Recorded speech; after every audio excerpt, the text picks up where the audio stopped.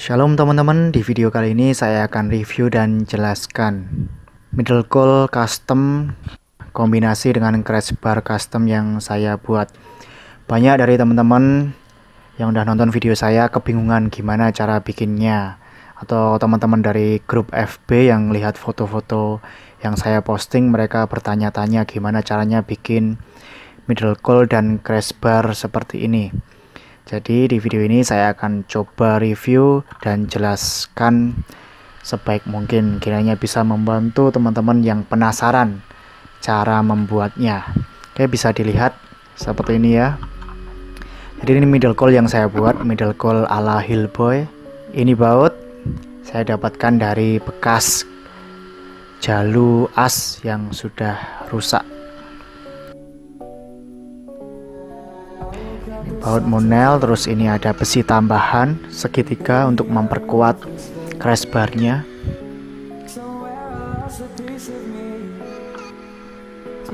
Jadi crash bar ini tersambung dengan plat aluminium pada middle coilnya. Ya ini dari atas dari samping plat aluminium.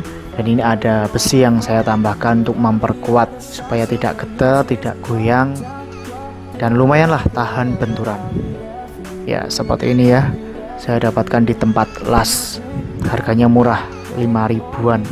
Dan ini saya tambahkan satu plat lagi untuk memperkuat rangkanya. Yang saya sambungkan ke baut yang lain. Kurang lebih seperti ini. Oke. Ada beberapa part yang saya pakai itu adalah barang sisa atau bekas ya ini ada baut juga baut gede. Ini ukuran 14 panjangnya 15 cm nah ini lubang baut yang pertama lubang baut yang kedua. Kemudian bagian atas langsung ikut ke baut sayap. Oke ini dia yang sudah terpasang. Saya gunakan jalur as. Lumayan kokoh pokoknya nggak geter lah kena benturan tahan jalur as besi. Kemudian ini stiker ini middle coil saya ini. Oke ini baut ini saya tadi udah bilang. Baut ini saya dapat dari ini bekas jalur as yang rusak. Dan ini stiker habis saya ganti. Dari sini langsung ke atas ikut yang ini yang saya bilang tadi. Sekarang lebih kelihatan jadi untuk bracketnya seperti itu kalau mau bikin. Ya jadi di sini tadi udah saya perlihatkan bahwa ada besi. Besi yang bisa memperkuat rangkanya atau bracketnya. Nah, ini segitiganya. Saya kemarin buatkan di tukang las juga di tukang las langganan. Kanan kiri itu cuma 5000 ini besi kuat. Kuat banget pokoknya. Sambung ke baut yang besar baut ukuran 14 panjang 15 cm nah seperti ini.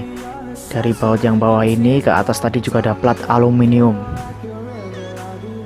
Ya ini. Kayak gini ya. Monel monel. Pokoknya seperti ini udah kokoh banget. Lalu ini kokoh banget. Pokoknya kokoh tahan benturan. Meskipun enggak nggak terlalu gimana gitu tapi ini udah kokoh banget tahan benturan. Dan ini yang sebelah kiri. Uh, di sebelah kiri ini ada kabel kopling dan untuk NVA NVL ketika stang digerakkan kabel koplingnya itu ikut gerak. Maka middle coil yang sebelah kiri sisi kiri ini saya bentuk seperti ini. Kalau untuk besinya sama. Punya sama besinya.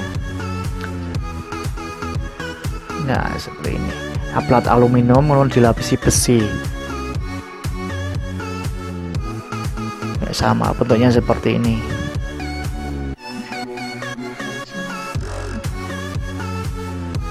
Ya kita lihat dari atas atau depan kayak gitu ya. Sisi kanan.